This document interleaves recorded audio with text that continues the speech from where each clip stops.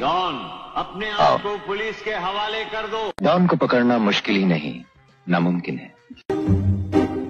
क्या आता यू? गया कहाँ? तुम्हारे मादा चो घाताने हमने तो असर जुए संग पता मारमर माही गोड़बा तो बाहर चोते गन। तेरा माय के चोदो वाला पास हमने रे भोसड़ी वाला डंडी वाला।